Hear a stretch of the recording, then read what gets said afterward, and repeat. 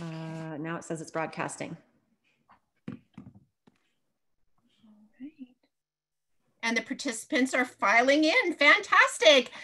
Hello, everyone. Um, thank you so much for joining us. Amber and I um, don't use uh, Zoom that often, so we just had a few challenges. We apologize for being late.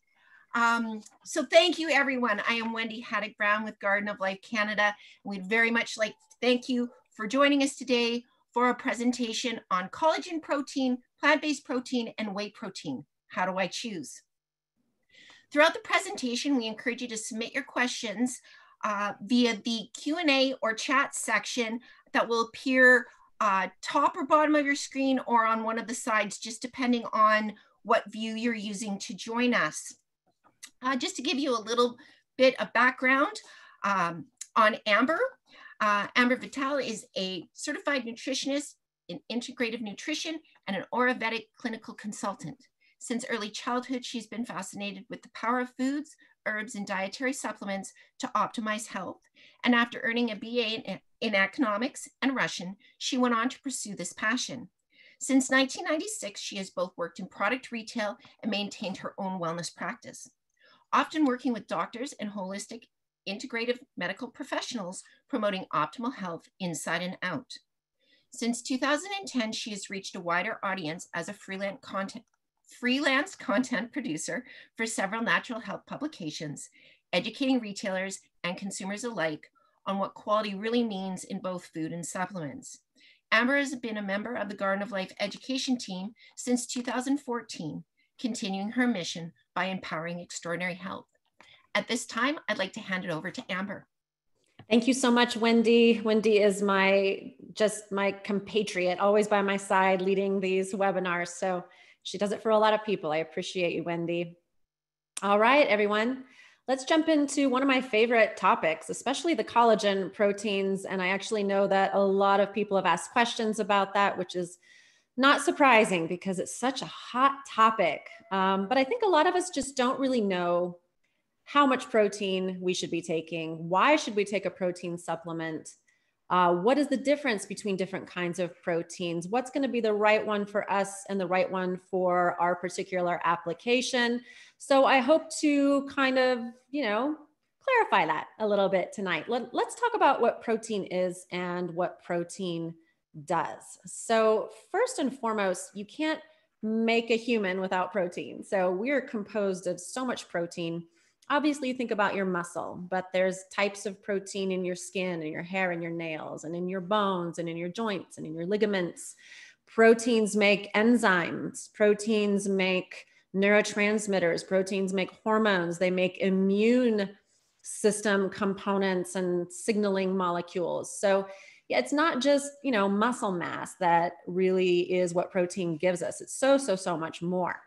So, interesting in the signaling category, protein can actually signal to uh, suppress a hormone called ghrelin that suppresses hunger. That, uh, that, so, the, the hormone stimulates hunger. If you suppress it, uh, you don't have that hunger. So, that is a huge part in protein being satiating. Protein being satiating too, because your body doesn't preferentially break it down for energy, while a gram of protein has as many car as many um, calories as a gram of carbohydrate does it's not your preferred energy source. So eating protein kind of slows the energy release.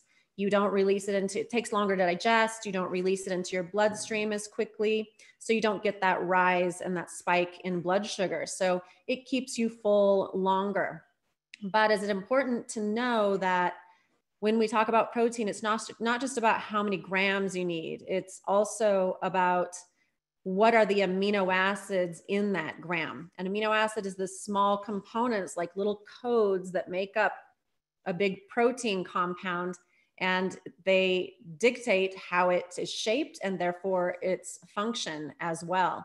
And so that's what we're going to talk a lot about is the difference in amino acid composition in a lot of different proteins and how that changes what they're suited for. So as I said, uh, enzymes you have to you have to actually be able to digest the protein to utilize the amino acids. Okay.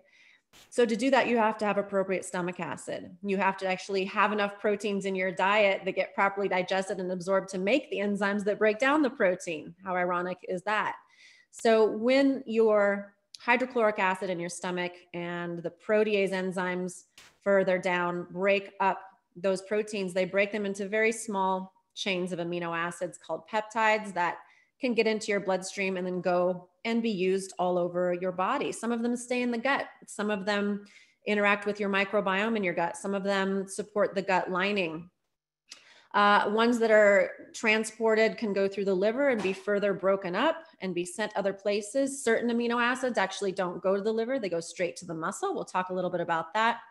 Um, we have constant protein turnover in the body. And that's why if you go a few days without, you know, doing anything strengthening, if you're in bed sick, if you were on a car trip, a road trip, you will probably uh, break down protein and use it somewhere else. So, uh, you know, it's really important to keep the intake and the digestion and also the usefulness of those proteins.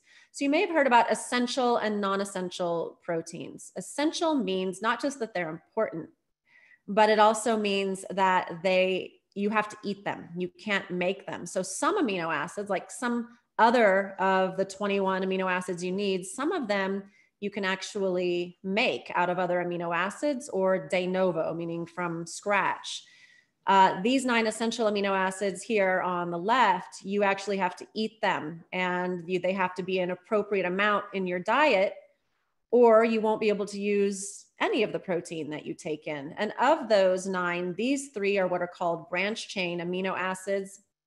Branch chain amino acids skip the liver. These are the ones that skip the liver and they can go right into use in your musculature. And that therefore allows you to repair and rebuild after a workout. So these are commonly taken as like free form amino acids or in some kind of a blend before, during, and after a workout for somebody who's trying to really build uh, stronger muscle, bigger muscle, and has a lot of repair to do post workout.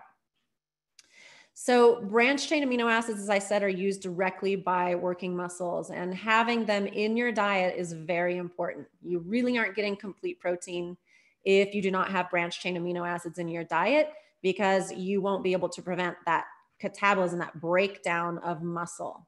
They're also important for a lot of other uh, actions in the body. It's not just about exercise and muscle, they're very important in so many different places. But having them during and after intensive exercise helps to get you back out exercising again sooner. You have faster recovery, less muscle soreness.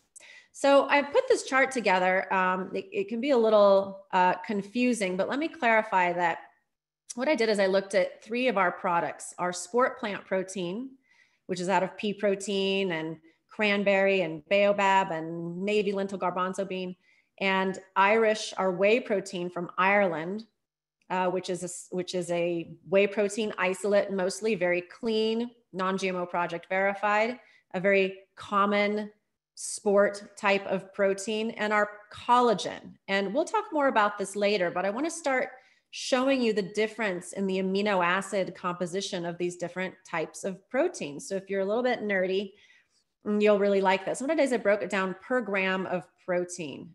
And so these are milligrams uh, of the amino acids present in each gram of protein. So first thing I want you to notice is the difference between plant proteins and animal proteins. So whey comes from animal, plant comes from plants. So there's not uh, a big difference in alanine. There's a pretty big difference in arginine. Plant proteins are higher in arginine. Animal proteins can be higher in lysine, as you can see here, okay? But I, I highlighted some of the really important ones, like glutamic acid, pretty equivalent in plant and animal proteins. Branch chains can be pretty equivalent in, in plant and animal proteins if we work hard to make it that way. In other words, leucine is really prevalent in whey protein, but we can get it up there pretty well in a plant protein by making combinations. In other words, not just hemp, not just pea, not just brown rice protein, but a combination of different sources of the storage uh, proteins, grains, nuts, seeds, legumes. Putting those together helps you get a good broad amino acid profile. We come down here to threonine and tryptophan. And you can see that it's higher in a whey protein than it is in a plant protein. Now looking at collagen peptides, and this will be the big reveal. A collagen product is not a complete protein. Bone broth is not a complete protein. So hydrolyzing that bone broth into a peptide product is still not a complete protein, meaning it can be very rich in certain things. Look how rich it is in glycine. Look how rich it is in proline. And it has things in it like hydroxyproline and hydroxylysine that plant proteins and whey protein don't even have. But it's very short in branched chain amino acids, very low in important things like tryptophan and cysteine, doesn't have as much glutamine, glutamic acid as your what we call whole proteins. So while you can supplement a meal or replace a meal with a smoothie that involves a plant protein or a whey protein that is made to be like a meal, like food that you eat, your collagen protein will be taken on top of that. So you can take either a, a, like a whey protein or any kind of a plant protein any time of day. You can have a smoothie made of those with a salad. You can have it on its own, throw a bunch of stuff in it, make a super smoothie, and you're really getting a pretty complete picture of your proteins. With collagen peptides, you don't count that towards your total protein requirement for the day. If you were working out and you were calculating that your total protein needs were, say, 120 grams a day, you're calculating that with your meals and your smoothies made of these kinds of protein powders that we're going to talk about. If you want to take collagen peptides for your skin, for your hair, for your nails, for your joints, for your bones, cartilage, intervertebral discs, you know, your gut lining, you take that on top of your required 120 grams that you determined you needed in the day. And it will give you extra glycine, extra proline, extra hydroxyproline, pre connected and ready to go to work in your body for repair. So, really two different things. So, I kind of draw a really thick line here between the smoothie type protein replacement powders and collagen peptide powders. They're really two different classes. Okay, so let's talk about that a little bit more. Let's talk about what collagen is and what it does. So, collagen is something that we get only from animals. You can't get it from plants. You can get the cofactors to put it together from plants. And I have a few metaphors about collagen. Um, like you just saw, collagen has a whole host of amino acids in it, but it doesn't have everything that you need for every function in your body. If you wanted to take uh, collagen peptides and think that it was going to make you build muscle, that's like taking a kit that has all the pre-cut lumber in it for a redwood deck and thinking that you're going to build a redwood sauna. They just don't go together. That's not what it was for. So you have to know what your goal is. And with collagen peptides, it's about repair. And if we start with collagen peptides in our late 20s, early 30s, and we're getting it on a regular basis, or if it's a part of your culture to, you know, actually have some broth right here. So this is actually some good elk bone broth. And if it's part of your culture or you've adopted the tendency to brew those broths and you cook up chicken feed and things like that, then you might get that from childhood and it might be a part of your life. And that may be something you're getting and are used to digesting all the time. The difference between a broth like I have right here and collagen peptides is that these have been pre-digested. They've been broken down into what are called peptides, smaller chains of amino acids that are better absorbed, better utilized by the body, and they mix really easily in cold or hot water. And so they're very versatile, which means that you're going to use them every day. I don't have bone broth every day. I only have it when my wonderful husband makes it for me.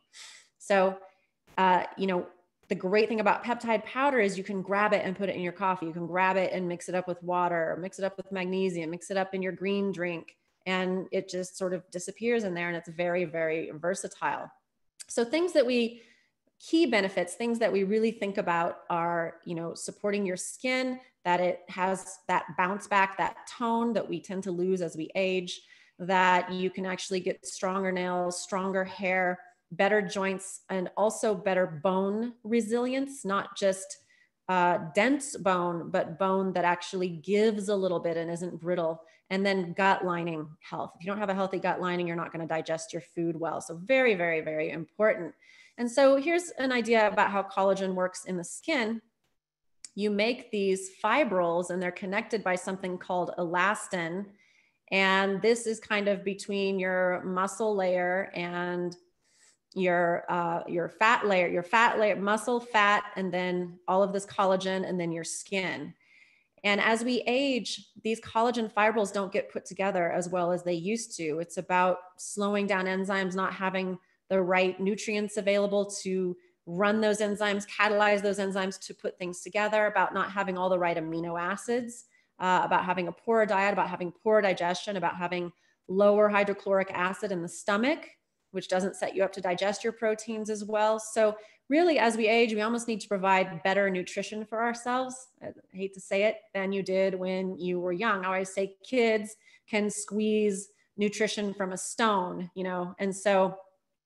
Uh, you know, when we, as we age, everything sort of slows down. So, giving ourselves not only the collagen peptides from an animal product so that we have that pre made coming into our body, um, you know, we're also needing to get the right nutrition to put that back together. Because with collagen, you still have to digest it, just like any protein. You've got to break it down into smaller components, and those smaller components need to get into your bloodstream and go where they're going to repair. Really not sure how I feel about putting collagen on the skin and having it actually go to making collagen. It doesn't really make sense. It's too big. The way you make better collagen in the skin is by eating it, having it broken down, absorbed into the bloodstream, and then put, you have enough left over that it gets put into your skin and your skin improves. Okay. So, collagen is the most abundant protein in the human body. And the most common type of collagen in the body is type 1 and 3. And so we often see that for sale, but it's also important to know that you can actually take type 1 and 3 collagen from any kind of an animal and make any kind of collagen that you need in your body. And I think I've seen in research that the human body has maybe 40 different identifiable types of collagen that are put to use for different purposes. Even the cornea of your eyeball, the discs in between your vertebrae, the lining of your blood vessel, you know, holds your teeth in place uh, your heart valves. There's just so many places that collagen is utilized and important. And so, as I showed you on that uh, very elaborate chart, uh, collagen, all collagen, all types of collagen, type 1, type 2, type 3, type 4, 5, 10, 16, are very rich in glycine, hydroxyproline, and proline. Okay and your whey protein and your plant protein are not very rich in proline and only collagen has hydroxyproline because that animal already took the proline and using vitamin C converted it to hydroxyproline and stuck those two together, just like a preset Lego that is going to go into making your collagen. The great thing about collagen peptides also is that uh, being rich in glycine, you take them in the evening time, they can actually really help you sleep. So I have a great little cocktail that I make with collagen peptides and magnesium powder that not only goes really well to work in your skin overnight and repair, but it also really helps you sleep well. So, how are you going to choose a protein for what you need? And you may choose a plant protein or a whey protein for your daily needs to meet your protein requirements on the go for your athletic endeavors. And you may add collagen on top of either of those for purposes of repair, for purposes of anti aging. Uh, and, and those are who are you is the question. I see some of you raising your hands and I see you. Uh, if I, we've got like 450 people on here, so I can't really stop, but I'm going to answer questions as we get toward the end. If you have a question, the great thing to do is to type it into the chat and we will try to answer all of those here at the end. That would be awesome. So, what kind of a person are you? What do you have going on in your life? Sorry, my screen is really fast. So, are you a student and you're trying to be economical and get nutrition in a smoothie and not eat at the um, cafeteria all the time, not eat out all the time? Uh, that can be very for their high school students and college students. A lot of people who are going back to school who take it with them as a dinner. You know, are you a, a really elite athlete or are you a weekend warrior? So you're looking for a lot more prepare, uh, repair. Uh, are you busy and on the go, moms, dads, you know, doing everything that you have to do. These are all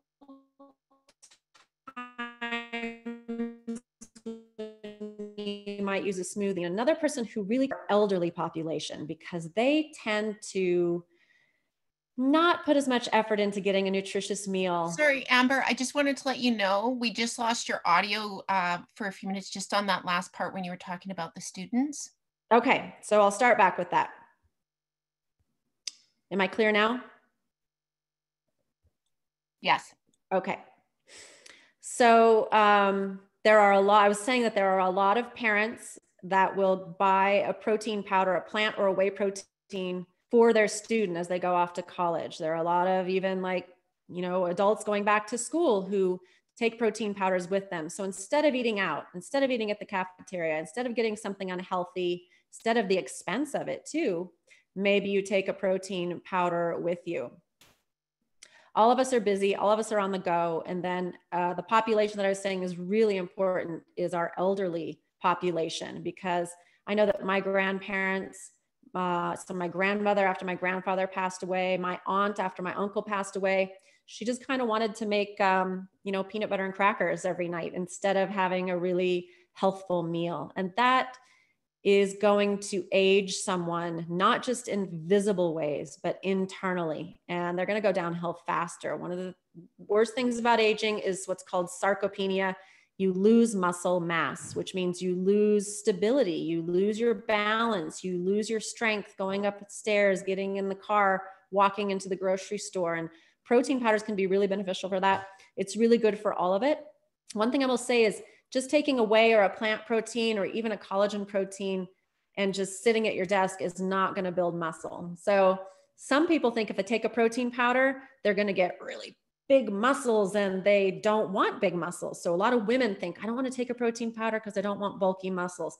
You will not get bulky muscles eating protein powder unless you exercise those muscles to be that way. And if you're trying to take it to get big muscles, but you're sitting at your desk, you're not going to get big muscles that way either you're actually putting in a, a, a raw material, you're putting in like lumber into your body. And what you do with it, what it builds, is dependent upon what you do to make it work for you. Okay. So, the great thing about our Garden of Life protein powders and even our collagen peptides powders is we have options that you can add to a super smoothie if you're going to put in your fruits and your kale and all the stuff that you want to add in. And we have protein powders that you can just mix with water. They're already flavored and a little bit sweet and delicious. And those are the ones I tend to use. I just have a shaker cup, put in some water, put in some powder, shake it up and drink because for me, it's really just a supplement. I'm really just trying to get some nutrients and I'm on the go and I'm going to get a full meal later. Um, so, one question that I get a lot between plant and whey and then collagen is should I mix my collagen with my plant protein or mix my collagen with my whey protein and just get it all at once? Since it is supposed to be added on top, should I mix them all together? You can. And what that's like is um, like eating the the leg of the chicken with the skin on it. Okay it's, it's kind of like that and gnawing on all the bones and everything like you're getting everything in one go. But the great thing about collagen peptides is they absorb quickly and they go to work quickly if you don't take them with other proteins and you don't take them with fats. So you can get your biggest bang for your buck by taking your collagen peptides separate at a different time of day with water, with a green drink, with your magnesium powder, and doing your plant protein or your whey protein as a meal or a snack or a pre- extra fiber. You can have extra fat. You can have, you know, other types of proteins as well. All right, so let's get into what we offer at Garden of Life and, uh, you know, why Healthy Planet partners with us all the time, what they love about what we bring and what we love about them. We're big on dual certification. And so as we talk about ingredients, we'll talk what that means. Certified organic and non-GMO project verified together really give a very deep audit, a huge transparency on the supply chain. It's not just about, you know, is an ingredient organic? Are most of the ingredients organic? It's about everything that is possible in that product being certified organic. It's not just about could you test the product and not find any genetically modified DNA or markers of genetic modification. It's about, hey, there's a plant extract in there and it was extracted with alcohol. Was that alcohol made with corn? And if so, was the corn genetically modified? It's a very, very, very deep audit and deep look at everything that goes into our final products. And that's just something that we are adamant about, especially with our plant proteins and our whey protein. And then even further, our collagen peptides are paleo foundation certified, which is really one of the only certifying bodies that can tell you that the animals were truly grazing on pasture and forage and hay and were not eating genetically modified food to fatten them in the last six months of their life. Because that's pretty common. I'm sure you see it where you are. I live in montana and i see all grass-fed animals and i see stockyard animals and that's not the one i want to eat. I want the grass-fed animal. All right, so talking about pea proteins, we actually started uh, with a Canadian, Alberta, Canada pea farm, a family, multiple generation family of growing peas. And with pea protein, it has a lot of great benefits. It offers those branch chain amino acids, uh, you know, which are great. Those branch chain amino acids, the leucine, the isoleucine, and valine that go straight to work in your muscles, and that's awesome. Uh, pea protein now, today, is really smooth and takes on flavor really well and gives a really good mouthfeel, really good texture, is very versatile, can be like the protein powder itself is actually 85% protein. And because of what you have to do, how much you have to soak it in water and grind it up into a slurry to centrifuge and separate starch and protein, because of all that soaking and all of that grinding and making it really a fine slurry, we have a really good digestibility. Something you may know about dried beans, dried seeds, dried grains, and dried nuts is that if you don't soak them, they're pretty hard to digest. And if you don't know that, definitely look into it because that is really the way throughout human history. And, and even squirrels do it. They like bury their nuts for a while and let them break down a little bit. So if you soak your your legumes your grains your seeds and your nuts you will get way more nutrition out of them than just trying to eat them uh, you know raw. We think we want everything raw and a soaked nut can definitely be raw. Sprouted is still raw but they yield a lot more nutrition than uh, just dry or dry roasted for example. So we are really big on that. When we add other uh, legumes when we add other seeds add other grains like sprouted brown rice protein to our protein powders, we're very adamant that they be soaked or soaked and sprouted. It's a big part of what we do. Uh, and so the difference between conventionally grown peas and organic peas is huge. Conventionally grown peas, you may or may not know this, but all legumes and grains since the early 80s are allowed to be sprayed with glyphosate, which is your main ingredient in Roundup not um, for the reasons you would think. It actually acts as a desiccant, so it dries the crop quickly and can get it into processing. So it's been in our wheat, it's been in our barley, our rye, it's been on our navy beans, it's been on our garbanzo beans, it's been on our peas and our soy, even before genetically modified crops to tolerate it were developed. So it is in our food supply. You may have seen news to that effect lately.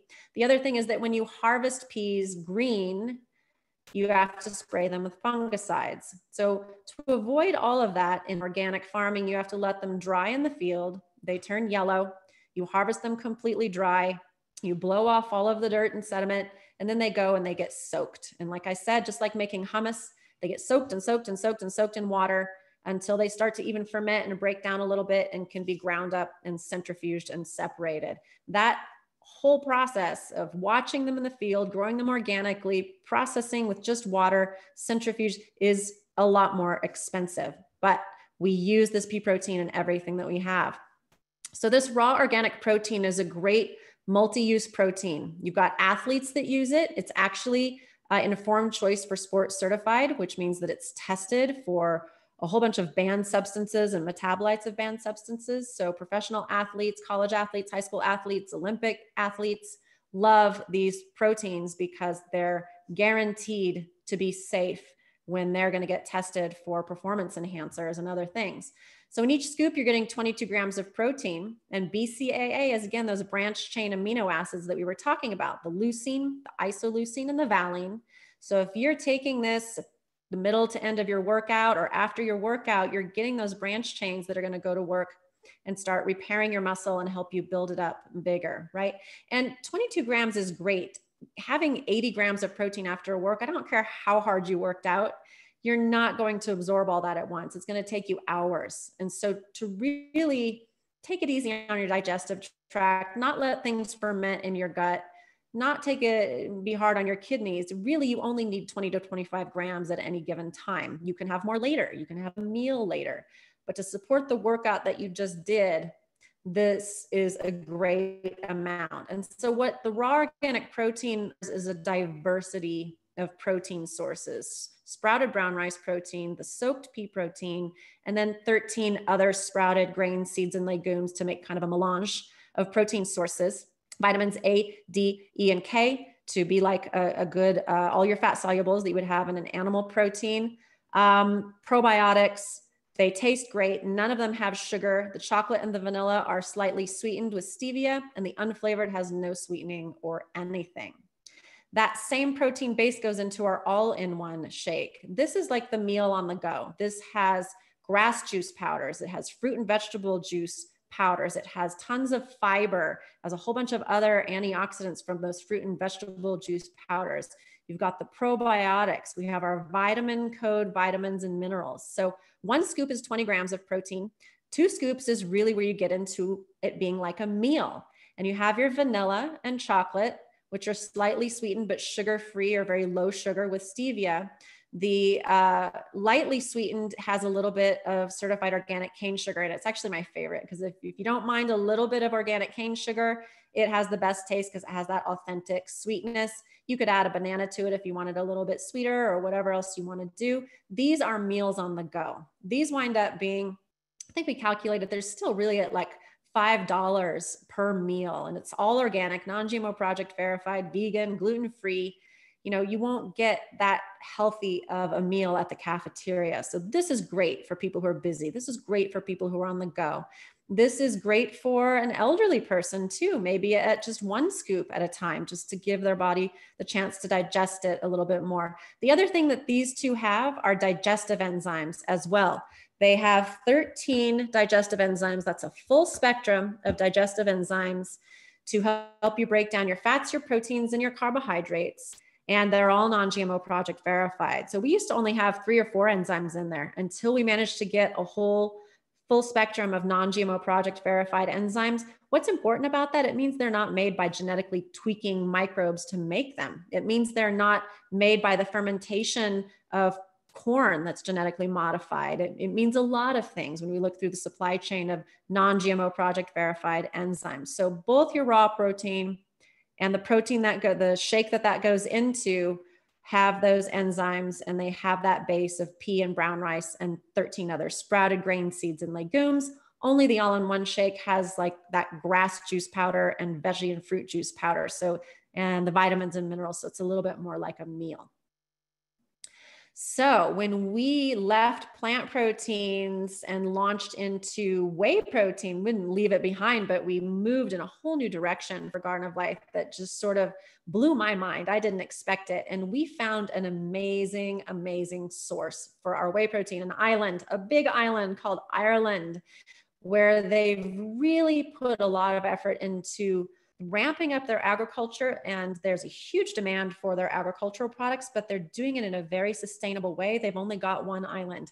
They have to preserve their waterways. They have to preserve their land. They have to preserve their animals. So rather than, you know, ramp up their animals with hormones to get them to produce more milk, they choose a good milk animal and they feed them really well and they keep them really healthy. So these animals are actually on grass probably 300 days a year. The, the, the, um, the actual certification from a greener world requires them to be on grass 250 days a year, but the promise from the Irish farms, there's 2,400 of them. They're all under 100 acres, under 150 animals.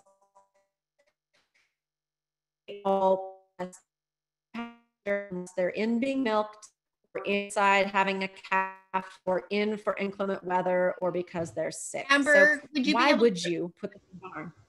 Amber, would you be able to repeat that? Your internet connection just cut out. Oh, audio. Goodness. So about the certification? Just the you started to garble when you talked about the molecules. If about that was molecules. even the word you were saying, it was just the last few minutes, like the last 30 seconds or so.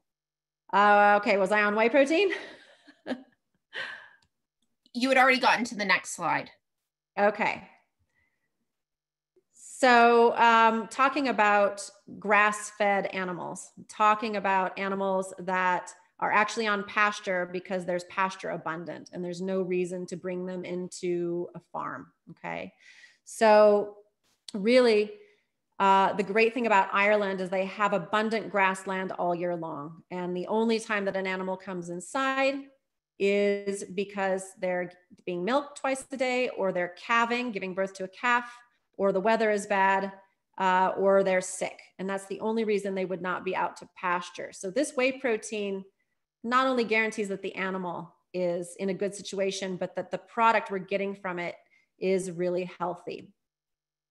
Okay, so that's our whey protein. And as I said earlier, whey protein, you know, is rich in tryptophan, it's rich in proline, uh, it is rich in the branch chain amino acids, and these whey proteins are delicious, vanilla and chocolate flavor, and they are 24 uh, grams of protein, and they have six grams of branch chain amino acids. So that's one of the things I wanted to point out is that an animal protein like whey will always be higher no matter what you do. And so when we look at our plant protein, you can see that in fact, 30 grams or two scoops of this plant protein gives five and a half grams of branch chain amino acids. So something you need to know if you're a plant-based protein person is that your total intake of protein needs to be higher than someone who is getting most of their protein from animal products. You can get the same benefits, you can be just as healthy, you can engage in all the same athleticism and build the same muscle, but just know that you'll need a higher protein intake. Maybe an example would be if you figured that you needed 120 grams of protein and you're doing it plant based, you might need 150. And that's just to make sure you get all the right amino acids. So in our plant protein, you have the pea protein, the sprouted navy lentil garbanzo bean cranberry seed protein, but we also added a polyphenol blend for recovery, tart cherry, apple, goji, turmeric for when you're intensively exercising. The great thing about these is they tell you exactly on the label if you're an athlete, how many grams of protein you're getting and how much of that is branch chain and how much is glutamine. The whey protein shows you 24 grams and you get more branch chains. So that again is what I mean about whey protein. It's very efficient for when you're trying to build muscle. So the difference between these two in taste and texture, they're both really smooth. They're both the smoothest we have at Garden of Life. They both taste awesome. They're both great just mixed up in water. You don't need to mix them with milk or anything like that. And they're really designed in digestibility to be used within an hour after your workout, toward the end of your workout, or within an hour after, so that they're getting into your musculature and letting you build and strengthen the muscle group that you worked out. So if you were to take these just any time of day, they'll go into general use in your body. If you take them toward the end of your workout and within that window and they get digested and absorbed well, they will go to work in the muscle group you just worked out. So, nutrient timing is really important. I'm not an expert on it, but I learned a lot that if you just worked out your quads, it was leg day, and you take your protein, whether it's whey or plant, within the end of your workout up to an hour afterwards, you'll get bigger faster. You'll get stronger faster because you're really, you've got all these enzymes in your muscle that are saying, let's build it up right now. Okay. So let's talk a little bit about collagen peptides. As I said, collagen peptides are not a complete protein. You want to have them on top of your plant protein, on top of your animal protein, on top of your meals that you eat that are full of protein. But they are really great for repair, really great to slow the aging process. Let's not say anti aging, but to slow the aging process. And as I said, the thing I'm proudest of in our collagen peptides is paleo certification. Go to paleofoundation.com and look at what they require for certification. It's not simple. Many, many, many brands say grass fed. This is what demonstrates that for our products. So, this is my favorite to just add to coffee or to a turmeric latte or a matcha latte a tea, golden, you know, golden milk or a chai. This is really easy to add to a hot or a cold beverage. You could certainly add it to a smoothie, as I said, if you're just on the door, on the go, out the door. Most people can actually turn these 28 servings into 56 by doing a half scoop. But if you are older, if you're trying to look better, get stronger hair, if you're trying to uh, also repair inside in your joints or in your gut, you may want to take half a scoop twice a day. And this is really economical. It gives you that option. We also have this fabulous beauty product. It's the same, same peptides as in the blue bottle, but in here you get 12 grams of those peptides per scoop, and you get what I call screws and nails and a carpenter to put your collagen together. These are the plant based ingredients that will actually help you rebuild these peptides into your own collagen structures. So it kind of speeds up the process. It's really good as an all in one if you're afraid you're not getting all the nutrients that you need. We also have something called a plant collagen builder tablets in our MyKind line that contains these three ingredients the silica, the biotin, the vitamin C. And that can be added to the blue and white product or to our joints and mobility product. So this one, the multi-sourced collagen, simply means that we have 10 grams of the grass-fed peptides from the cows, and we have a what's called functional ingredient from chicken cartilage. They're two different things. These are meant, the peptides are meant to get in your bloodstream and go everywhere in your body and help repair your joints. The chicken cartilage collagen is meant to stay in your gut. It's called UC2, and it stays in the gut and teaches your immune system to sort of spare cartilage when it sees it in your body. So if you have a knee injury and cartilage is floating around in there and your immune system keeps attacking it and it's always aggravated, this stuff, along with turmeric, seems to calm that aggravation, calm that inflammation, and help you repair better. And then the peptides from the cows go in and help you repair that joint better. So, all in all, this is to help with your joints, to help with mobility. It has a couple of functional ingredients in it to help you. It will also help you with your skin. It will also help you with your hair and your nails. And you could combine it with that plant collagen builder to really make sure you're getting all of the ingredients you need to put all your collagen uh, together anywhere that you need it in your body. This one, the turmeric is delicious in like a hot tea. This goes great in golden milk. Uh, don't sweeten your golden milk, just add this, and this gives it a nice apple cinnamon sweetness. I've added it to like dandelion tea. You could add it to Earl Grey. It, it is really a great way to take it. Okay, so I'm going to leave a little time for questions. Wendy, how should we handle this? I have done my best to try and compile as many of them as possible. Um, and there's some really great ones here. Uh, so uh, the first uh, questions I want to make sure that you address is, are there concerns uh, regarding people consuming proteins and them affecting the kidneys negatively?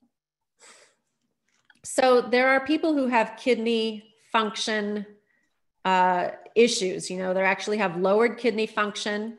They probably have been to the doctor and been told they have lowered kidney function and they need to take protein in smaller packets, you know, and it, it pr- probably if you've been to a doctor and you have um, impaired kidney function, they probably told you to be on a protein sparing diet. And a nutritionist is probably helping you with that. Most of us are not going to have a problem with it. Where you saw people getting a problem was those free-form aminos, so an amino acid blend that everything is just singular amino acids, and they take 60 grams of it during a workout, you know, because somebody told them to that it would be helpful. That's where you see uh, uh, that it can be hard on the kidneys because that's just too much at once. It all gets in your bloodstream. And what you can't use, remember I said you can only use like 20 to 25 grams at a time. What you can't use goes to your kidneys and has to get eliminated. Even if you ate a steak dinner and you had 50 grams of protein in that steak dinner, you're digesting it so slowly, so gradually that it's not all released in your bloodstream at once. And so it doesn't put that burden on your kidneys. It's isolates like free form amino acids that people take too much of that can put more stress on the kidneys because it all goes in the bloodstream at once. Hope that helps. Uh, what are the guidelines for uh, general protein daily intake? So we tend to say uh, 0.8 grams per kilogram body weight as a baseline. And then you go up from there, maybe up as high as 1.5 grams per kilogram body weight um, when you are an athlete, you know, when you're really physically active. And so, uh, you know, knowing what your activity level and using an app or a calculator to determine generally what your needs might be based upon your height, your weight, and your activity level. I would definitely recommend that. But as a baseline for anyone who just is a student, who's working at a desk, uh, someone who's elderly, you want to start at that 0.8 grams per kilogram body weight as a minimum. And then you want to make sure you're digesting it well. So, again, if someone knows that their digestive tract is impaired, if they know that their gut lining is inflamed, if they know they have a hard time absorbing nutrients, they probably have to take more total protein in that time period that they're healing because they're not getting it all absorbed. Are there any concerns with consuming protein or collagens and them affecting medications? Hmm. I can't think of anything offhand. And the reason I say that is because, at least at Garden of Life, we're delivering it like a food. I definitely think I've seen people take, like I said, high doses of free form amino acids, which get in your bloodstream really fast. And some people can actually get a blood sugar spike from that, believe it or not. Um, and so that would definitely affect you if you have high blood pressure, if you have um, hyperglycemia, high blood sugar. So those are things to watch out for. But when we talk about Garden of Life proteins, which is what we're talking about tonight, these are like concentrated food. And that's what I really want you to know and remember. We try to keep as close to the source as possible. So it's like the closest reflection to a meal that you can get in a stable powder on the shelf that you can mix in water, you know? So it's really like a meal. And if that's not going to interfere with your medication, you know, you have to watch the turmeric um, you know, you have to watch anytime that you see another herbal in the product like that. Are there any concerns with consuming protein and uh, fatty liver or with whey male hair loss? With whey for male, getting male hair loss. Wow. Um, kind of out of my scope. Um, with fatty liver, everything can be more difficult. You know, it really depends on what that fatty liver is impairing. But remember that fatty liver is, if it's non alcoholic fatty liver, it's coming from high sugar intake. So, swapping out your sugar for protein can be good, especially more complex proteins like this that don't turn to sugar.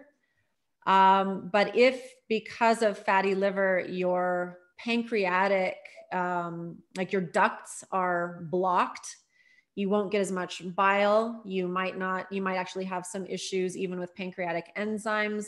You have issues with digestion. You have issues with cleaving the amino acids that are sent to the liver. Um, and so it just makes it harder to utilize nutrients, fatty liver does. So, but it's not going to necessarily um, uh, cause it to get worse or uh, impair. You're still going to need protein. Um, with whey protein and male hair loss, I cannot say. I would say my concern for that would be the source of the whey protein. As always, when we're talking about things that might be hormonally related, that's really what you want to look at. And uh, it, it, it, it probably goes along with the uh, activity level that a man might be engaging in, which might amp up testosterone levels and might get a lot of um, aromatization of those testosterone uh, into the negative kind that can cause hair loss and other issues. So it's it's really not just the whey protein; it's what else is going on. How are they working out? Uh, how much are they taking, what is the health of their enzymatic pathways as well. Uh, for menopausal women, uh, are there any considerations uh, to take into account with proteins? Yes, they're uh, really helpful because you definitely have to watch your sugars as we get into menopause. It just becomes harder and harder. Stress levels that tends to wreck your blood sugar. That tends to make you reach for more sugar. You already have high levels of cortisol that make you put on weight around the middle. It can also lead to, uh, just like with men, what we were just talking about, uh, hormones being, you know, estrogens being routed toward negative and harmful um, uh, manifestations. And so, you know, using a protein wisely to help to balance your blood sugar, to get you nutrients when you would otherwise reach for something that's junky, uh, can be a huge part of managing that period of life and also keeping the muscle mass where it needs to be so that you have better fat burning, so that you have better energy, so that you have better enzyme and hormone production. And the source of your protein at that time is going to matter, just like the source of your diet up until that time matters. We know that women that go into menopause with high toxicity from, I don't know, taking birth control pills, from, uh, you know, their environment, from the food that they ate, from the stress that they've engaged in, all of that makes menopause worse. So anything you do that's clean, anything that you do that supports your body leading up to that time will give you uh, a better time. And the great thing about protein powders, especially like the all in one is if you have fiber in there, you add some MCT oil to give it a good fat, you're good. Like you're going to have really good blood sugar balance, and that's going to positively affect all these aspects of your health. Uh, so I've uh, there's a several more really awesome questions here. So can you speak regarding uh, collagen molecule size and whether or not a liquid be, would be more absorbable due to that? So, all collagen products or peptide products that have been researched and have shown efficacy in joint repair, in skin thickness and moisture maintenance, um, uh, in resiliency of the skin, all of these studies, whether they looked at chicken, fish, cow, pig, sourcing, the size is typically between one thousand and five thousand daltons, one in five kilodaltons. Our peptides, the source that we have runs between one and three kilodaltons. You will have out there in the market some specialty products that you take in two gram amounts, five gram amounts that may have been further hydrolyzed to be smaller. And so they'll say that it will get to a certain part of your body faster. But if you're taking 10 grams, 20 grams a day of a type 1 and 3 peptide that is between 1 and 3 kilodaltons, like ours is, you're going to be able to use it for every single process in your body. And that's both common, that size is common, and it is what was used in research. In fact, I, I want to believe that fish peptides are smaller and more effective than pork. And I looked for something that would support that. And there were studies that actually put fish and pork head to head from the same company that supplied it. And the pork peptides actually worked better in the markers that they measured for skin thickness, for skin moisture maintenance. Kind of blew my mind. I, I don't, I don't want to consume it from pork. It's pretty hard supply chain to keep clean. Um, but you know that's something that humans have consumed for a really long time, and it works really well in the human body. The great thing about bovine peptides is that we have a very good source, a clean source, and they can be just as small of peptides and just as effective. So, you know, really we're right up there where it needs to be to be effective. But again, um, not on the skin. I don't really see that as being the way to get it into your skin. Uh, is collagen useful to help address uh, specific joint conditions or joint and bone issues? Um, so, if you're speaking about something like Marfan's, I, am not really sure. There's mixed uh, indications for that. You know, where people have a, um, if you have a, a collagen production disorder, elasticity disorder, uh, there's mixed information about whether you should or should not take it. So I can't really speak to that. But I definitely would say, going back to menopause and aging, you know, yes, you need your calcium and your magnesium and your vitamin D and your K2, but it's super, super, super important that you have adequate collagen in your diet because that is what will not only make the bone stronger, but less brittle. You get people who get kind of a false bone density uh, improvement. The DEXA scan says, oh, your bone density is improved. You're now just osteopenic. You're not osteoporotic. Good job. And then you fall and it shatters and you're thinking, what happened? It's because it doesn't bend anymore. So kids, you know, they bounce. they have a lot of collagen. And if your bone has the crystalline matrix of the minerals, all the trace minerals plus the calcium, magnesium, everything, and has collagen woven in there, it has flexibility and resilience. And you have greater longevity on your bones. They're not as brittle, you're not as likely to break them. So I find collagen to be a huge part of uh, menopause, of aging for both men and women. And then I find your, your dietary protein, your whey protein, your plant protein, whatever you choose, to be extremely important to make sure that you have a muscle mass that pulls on that bone that encourages continuous deposition of bone and strengthening of bone. If you aren't using your muscles, your body won't be signaled to lay down new bone. So you kind of have to do it all together. You know, I wish I could say it was a one stop shop, but we really need our dietary protein or our dietary protein supplements like whey and plant protein. And then we really need those collagen peptides or if you've, like I said, consumed bone broth all your life and you digest it really well, that tends to be pretty good. The peptides are for people who are catching up, you know, we're like, hey, I wasn't doing bone broth. I don't have it all the time. I don't have access to it. How do I catch up? And these peptides make it really easy for us to catch up. And if you're in your 50s, 40s, 60s, and you want to support bone health, um, really, and joint health too, that peptides are pretty indispensable it's just one of those things that I I don't, you know, I want to eat it, but I supplement it because it's just so much more effective. Is there a better uh, protein choice for weight management?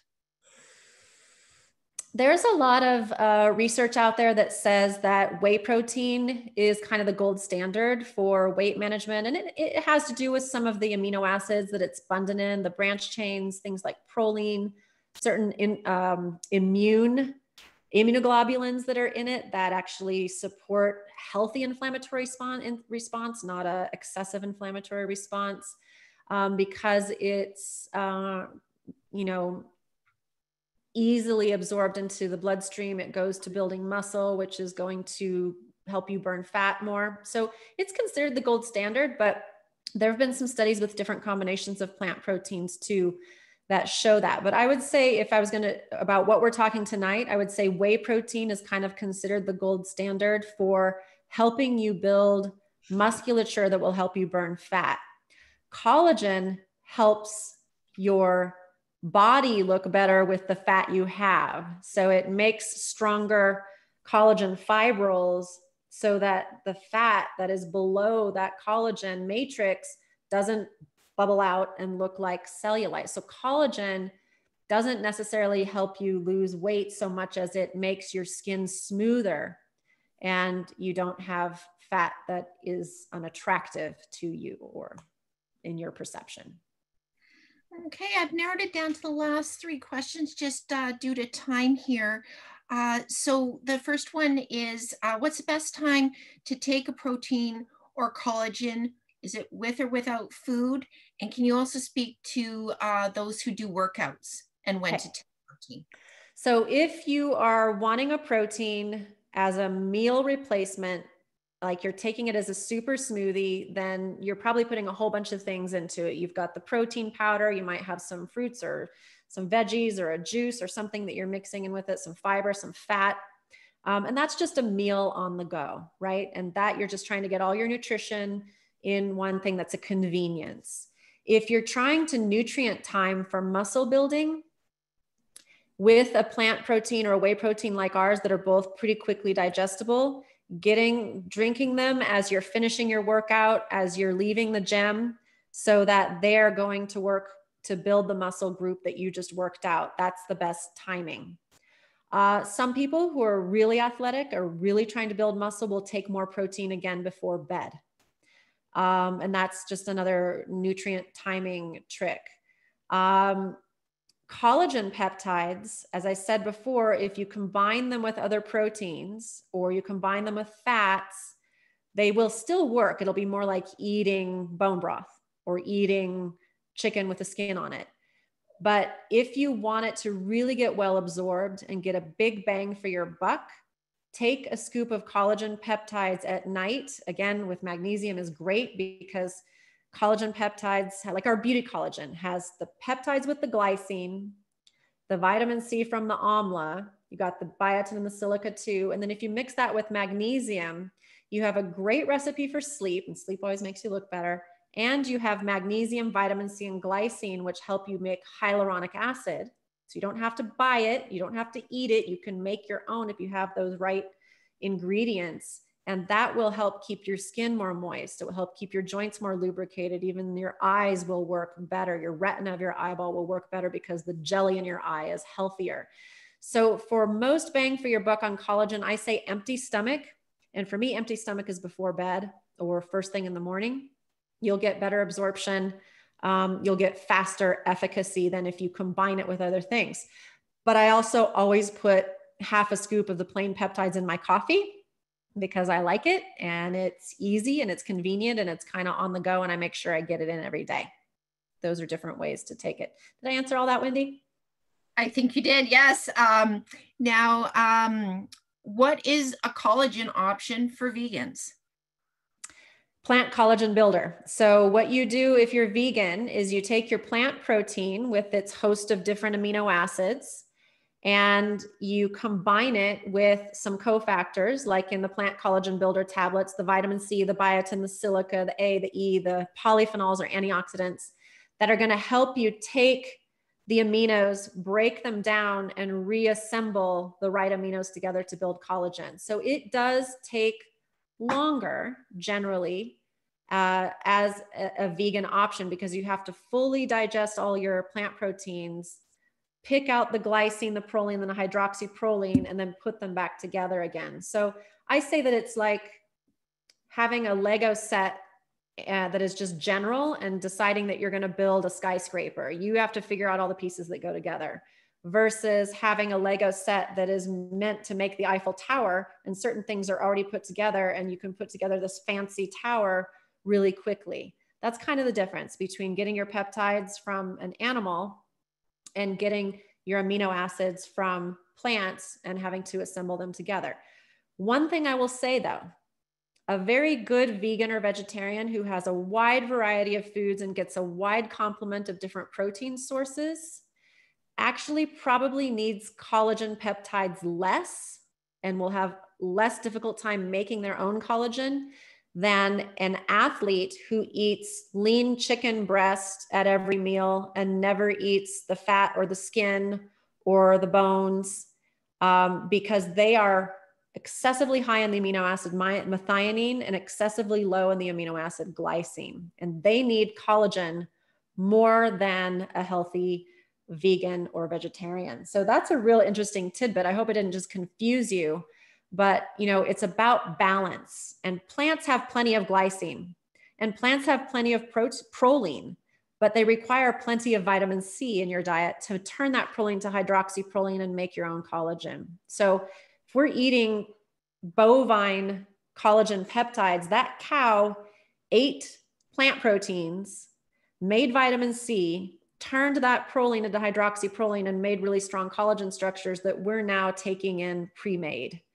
If you are eating the plants and making your own collagen, it just takes more effort and more total protein, as I said before. Good questions. You guys are tough.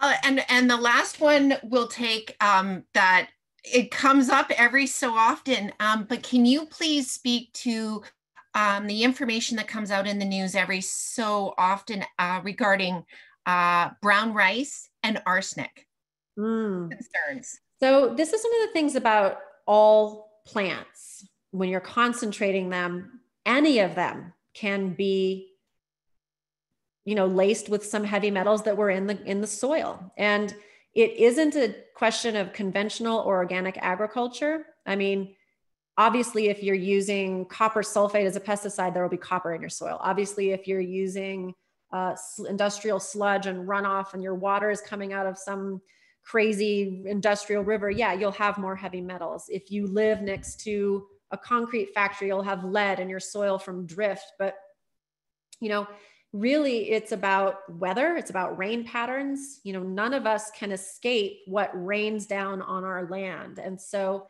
really like with our brown rice we had to go all over the world to find the least uh, mercury arsenic lead cadmium uh, that we could find. And we found it in rural Vietnam and rural Cambodia. Um, and right next to them is Laos. And if you know your history, Laos uh, got tons of heavy metal contamination from um, left over bombshells and, and military stuff that shrapnel that rained down on their land. So it really depends on where you are. We didn't get as good a read from California rice, from Texas, from Louisiana. Domestically, we didn't have as good of a choice. So we're testing all the time.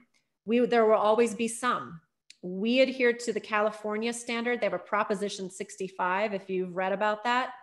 Uh, they require any supplement to be below very strict limits, below our Environmental Protection Agency standards.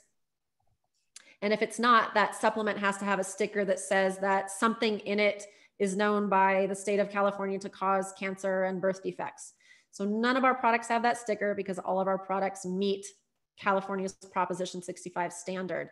So even a kale powder can have uh, lead in it or arsenic. Even cacao powder is laced with cadmium. So we tested like a thousand different sources of cacao for all of our sources of uh, for chocolate because that's very common and it can be from industry but it can very easily be from volcanic soil that's where you get a lot of heavy metals spewed out of the earth so you have your standards we want to adhere to them but it is a tricky thing sometimes we have to forego uh, a source that we would love to work with because they're small, they're sustainable, they're supporting a village because there's too much of a heavy metal in it to meet the California standard. So it's always a juggle.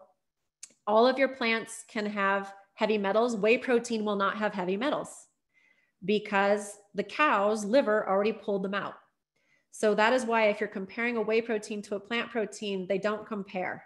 And if you're trying to look for, you're trying to say, oh, well, these plant proteins are laced with heavy metals and these whey proteins aren't, that's going to be true across the board. Collagen can have heavy metals depending upon what part of the animal it comes from and how careful they are.